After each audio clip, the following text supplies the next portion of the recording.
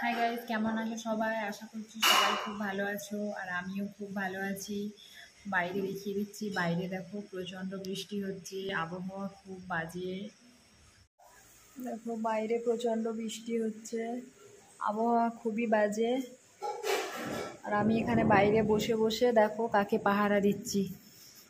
এই যে, আমাদের ঘরের সামনে বৃষ্টি হচ্ছে দেখে ঘরের ভেতরে উঠে চলে এসছে।